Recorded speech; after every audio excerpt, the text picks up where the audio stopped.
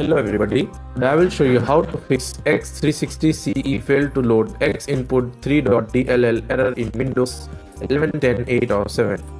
If you find this video helpful, please consider subscribing and liking. Go to Chrome browser or any browser, type vc redist, click on the first link, check your system type and type and download based on your system type after downloading, install it.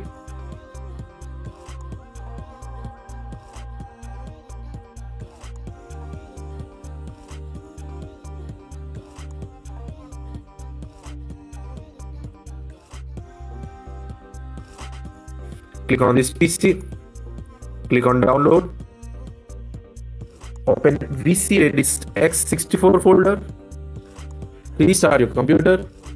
That's it. Thanks for watching.